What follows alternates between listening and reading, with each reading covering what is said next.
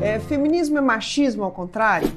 Gente, machismo é uma coisa, né? Só porque machoísmo e fêmeaísmo não tem nada a ver uma coisa com outra. Machismo é uma percepção de mundo que acha que as mulheres são propriedade dos homens e na origem disso está toda a violência contra as mulheres.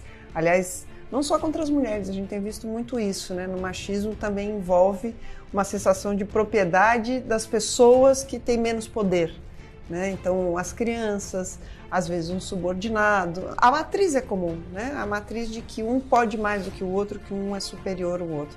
O feminismo não, o feminismo é libertador, o feminismo é de a gente se juntar, não é contra alguém, é podemos todas nós, todos nós, temos um espaço no mundo. Vocês vejam que dois terços do universo que são miseráveis são mulheres.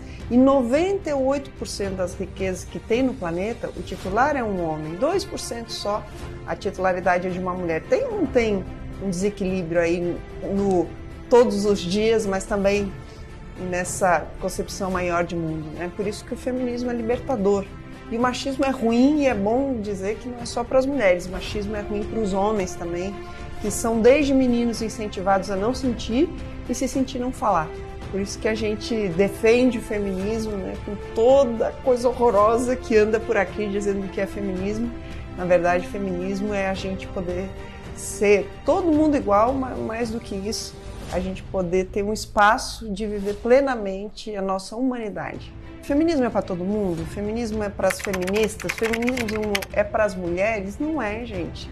Feminismo é uma concepção de mundo que combate o outro extremo, que é o machismo, né?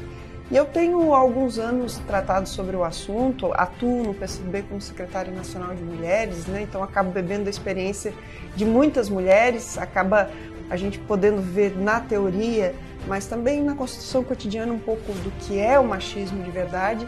E a gente vai vendo que na base da violência na sociedade está o machismo, porque uma criança que vive num ambiente que vê a mãe sendo espancada, que vê a mãe sendo humilhada, que vê a mãe morta, às vezes, como acontece no ápice do machismo, né?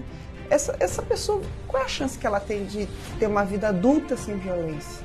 Se a gente não ajudar, reproduz essa violência, né? Por isso, eu estou muito convencida que o feminismo é para nós a libertação de uma sociedade que oprime gênero, mas também de que violenta quem hipoteticamente está numa condição de mais vulnerabilidade, né? Por isso é preciso educar os meninos, educar as meninas, as meninas para que se sintam fortes, para que possam saber que o lugar delas é aonde elas quiserem, mas os meninos também para saberem que eles podem amar e muito. E é bom que seja assim, que esse estereótipo de uma masculinidade tóxica não serve mais para gente, que de verdade tem espaço para muito amor no mundo.